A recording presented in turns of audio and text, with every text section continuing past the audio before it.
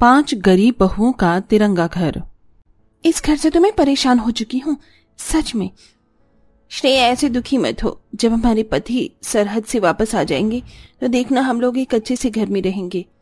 न जाने वो लोग कब आएँगे और कब हमें इस टूटे फूटे घर से छुटकारा मिलेगा। श्रेया अपने टूटे फूटे घर को देखकर काफ़ी दुखी हो रही थी कि तभी प्रीति और लता हाथों में छोटी सी सीमेंट की पन्नी लिए घर आती हैं। ये सीमेंट तुम लोगों को कहाँ से मिला? पास वाली मंदिर में थोड़ा काम चल रहा था ना तो वहीं से ले आई। अब जहाँ से घर की दीवारों में दरार आ रही है, वहाँ पर हम सीमेंट को लगा देंगे। पाँचों बहुएँ सीमेंट का घोल बनाती हैं और छत और दीवारों की दरार पर अच्छे से सीमेंट को लगा देती हैं।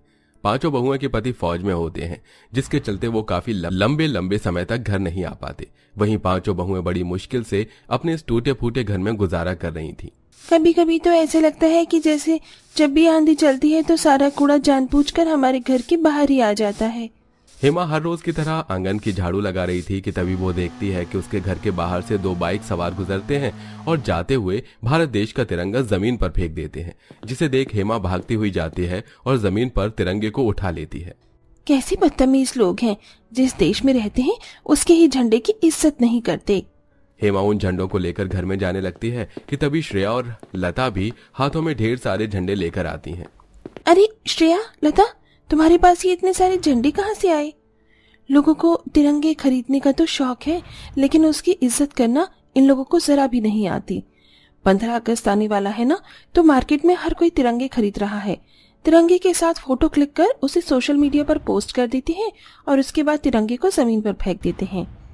इसीलिए आसपास जितने भी तिरंगे थे, हमने उनको उठा लिया। कम से कम ये किसी के पैरों में तो नहीं आएँगे। तीनों बहुएँ तिरंगों को इकट्ठा करके घर में संभाल के रख देती हैं और ऐसे ही कुछ वक्त गुजर जाता है। हे माँ मैंने सब्ज़ी में छौक लगा दिया है। तुम जब तक आटा गूंथ लो मैं आँगन में रखे हुए बर्तनों को धो देती हूँ। प्रीति चूल्हे पर सब्ज़ी रख आँगन में बर्तन धोने के लिए निकल जाती है। वहीं हेमा चूल्हे के पास बैठकर आटा गूंथ रही होती है कि तभी उनके टूटे फूटे कमज़ोर मकान की छत और कमज़ोर हो जाती है और अचानक छत का एक टुकड़ा आकर चूल्हे पर रखी सब्ज़ी में गिर जाता है जिसकी छींटों से हेमा का हाथ जल जाता है। आ, आ, मेरा हाथ आ। हेमा के चिल्लाने की आवाज़ सुन बाकी बहुएँ हेमा के पास आती हैं। हेमा तुम्हारा हाथ कैसे जल गया? हेमा सारी बात उन्हें बताती है जिसके बाद अब जल्दी से श्रेया हेमा के जले हाथ पर दवाई लगा देती है। आखिरकार कब तक हमें इन परेशानियों का सामना करना होगा? वो तो अच्छा हुआ कि वो टुकड़ा सब्ज़ी में गिरा जिससे सिर्फ़ हेमा का थोड़ा बहुत हाथ ही जला है। अगर हम में से किसी के सर पर गिरता तो पता है ना कितनी गहरी चोट आती। लेकिन हम इस घर में रहने के अलावा और कर भी क्या सकते हैं? यहाँ आसपास तो हमारा कोई अपना भी नहीं है जिसके घर में हम लोग कुछ दिनों रह लें। पाँचों गरीब बहुएँ आए दिन अपने घर में होने वाली परेशानियों से काफ़ी ज़्यादा दुखी रहने लगी थी। अब इस दरवाजे को क्या हुआ? खुल क्यों नहीं रहा? श्रेया जैसे ही दरवाज़ा खोलने की कोशिश करती है तो एकदम से दरवाज़ा टूट कर श्रेया के हाथों में आ जाता है। अरे श्रेया ये क्या हुआ? ये दरवाज़ा कैसे टूट गया? जब घर इतना कमज़ोर है तो उसके दरवाजे मज़बूत कैसे हो सकते हैं? टूटे हुए दरवाजे को देखकर पाँचों बहुएँ उदास होकर खड़ी होती हैं कि तभी वहाँ उनकी अमीर घमंडी पड़ोसन अनु आती है। अरे ये क्या? कल तक तो तुम्हारा घर ही टूटा फूटा था और आज ये दरवाज़ा भी टूट गया। बेचारी अब तुम लोग कैसे रहोगे? एक काम करो पर्दा लगा लो क्योंकि तुम लोगों की तो इतनी ही हैसियत है। अनु पाँचों बहू की गरीबी का मज़ाक उड़ाकर वहाँ से चली जाती है और बेचारी गरीब बहुएँ अपनी गरीब किस्मत को देखते हुए अनु को जवाब नहीं दे पाती और ऐसे ही काफ़ी समय गुजर जाता है। सब्जियों के दाम तो सोने के भाव जितने हो गए हैं बस ये आलू ही सस्ते हैं इन्हें ही ले लेती हूँ। प्रीति सब्ज़ी मंडी से आलू ले रही होती है कि तभी मंडी के पास में बने स्कूल की छुट्टी हो जाती है जिसमें से काफ़ी सारे बच्चे हाथों में तिरंगा लिए निकलते हैं लेकिन उनमें से कई बच्चे तिरंगे को ज़मीन पर गिरा देते हैं और वहाँ से जाने लगते हैं जिसे देख प्रीति जल्दी से वहाँ जाती है और उन तिरंगों को उठा लेती है और उन्हें संभाल कर घर ले आती है।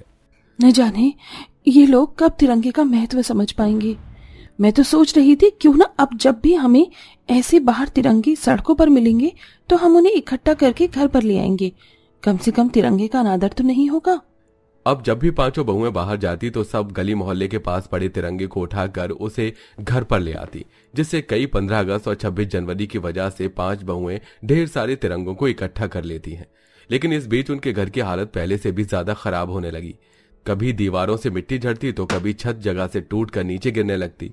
मैं सोच रही थी, क्यों ना हम किसी फैक्ट्री या लोगों के घरों में काम ढूंढना शुरू कर दें। थोड़ा बहुत काम करके पैसे जोड़ेंगे और एक किराए का मकान ले लेंगे।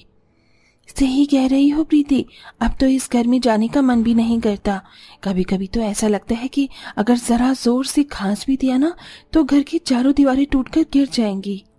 पाँचों बहुएँ कई फैक्ट्री और घरों में काम की तलाश करती हैं, लेकिन काफ़ी ढूँढने पर भी, उन्हें कहीं पर भी काम नहीं मिलता। ऐसे ही समय गुजरता है और अब पंद्रह अगस्त एक बार फिर आने वाला होता है। पाँच बहुएँ हर रोज की तरह काम न मिलने की वजह से निराश होकर घर लौट रही होती हैं कि तभी कुछ आदमी बाइक पर बैठे अनाउंसमेंट कर रहे होते हैं। सुनिए सुनिए, इस 15 अगस्त पर सरकार की तरफ़ से एक प्रतियोगिता आयोजित की जा रही है। इस प्रतियोगिता में आप लोगों को हमारे भारत देश के झंडे, यानी तिरंगे से कुछ अनोखी चीज़ बनानी है, जिसकी भी बनाई हुई चीज़ हमारे जजेस को पसंद आएगी। उसे सरकार की तरफ़ से पाँच लाख रुपए का इनाम दिया जाएगा।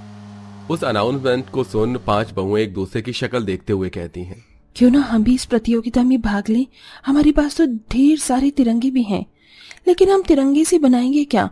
हमने इससे पहले तो ऐसा कुछ भी नहीं बनाया है। श्रेया की बात सुन पाँचों बहुएँ भी इसी सोच में पड़ जाती हैं और काफ़ी समय तक इसी चीज़ के बारे में सोचती हैं।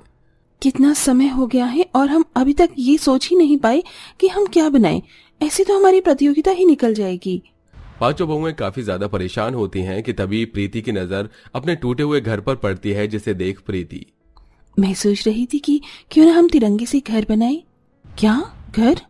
मैं जानती हूँ, ये सुनने में थोड़ा अजीब है, लेकिन हम कोशिश तो कर ही सकते हैं ना। जितना मैं जानती हूँ, किसी ने भी ये नहीं सोचा होगा कि वो तिरंगे से घर बना सकते हैं। और वैसे भी हमें तो इस वक्त घर की ज़रूरत है। जो तिरंगा हमारी और हमारे देश की शान है, वही तिरंगा अब हमारा सर छुपाने का सहारा भी बनेगा। प्रीति की बात सुन अब बाकी बहुएँ भी प्रीति का साथ देती हैं, जिसके बाद अब पाँचों बहुएँ मिलकर जंगल से ढेर सारी लकड़ियाँ इकट्ठा करती हैं और उनमें से एक घर का स्ट्रक्चर बना लेती हैं। इतना तो हमने कर दिया, पर अब आगे करना क्या है? तभी पाँचों बहुएँ अपने इकट्ठे किए हुए तिरंगों को लेती हैं और एक एक कर उन सभी छोटे बड़े तिरंगों को अच्छे से घर के अंदर और बाहर चिपकाने लगती हैं और साथ ही एक छोटा सा तिरंगा अपने घर के बाहर भी लगा देती हैं। दो से तीन दिन की मेहनत में आखिरकार पाँचों बहू का तिरंगा घर बनकर तैयार हो जाता है और आज पंद्रह अगस्त के मौके पर प्रतियोगिता भी शुरू होती है, जिसमें काफ़ी सारे लोग तिरंगे से अलग अलग तरह की चीज़ बनाकर जो जजेस के सामने पेश करते हैं। ये देखिए, मैंने कितनी सुंदर तिरंगा फ्रॉक बनाई है। मेरा भी है। तिरंगे से बना हुआ एरोप्लेन। देखिए ऐसा एयरप्लेन तो आपने आज तक नहीं देखा होगा। आप सबकी बनाई हुई चीज़ काफ़ी सुंदर है। थोड़ी देर में जजेस फैसला सुनाने वाले हैं। अगर कोई और भागीदार हो तो वो भी अपनी बनाई हुई चीज़ जजेस को दिखा सकता है। उस आदमी के अनाउंसमेंट करते ही पाँचों बहुएँ जजेस के पास आती हैं। सर हमने जो चीज़ बनाई है हम उसे यहाँ नहीं ला सकते। इसलिए आपको हमारे साथ चलना होगा। श्रेया के कहने पर जजेस पाँचों बहू के साथ जाते हैं और उनका तिरंगे से बना हुआ घर देखकर काफ़ी हैरान हो जाते हैं। ओ माय गॉड तिरंगे से घर भी बन सकता है, ये मुझे नहीं पता था। आप लोगों के पास तिरंगे से घर बनाने का आइडिया कहाँ से आया? हमारा घर बहुत टूटा फूटा हुआ था।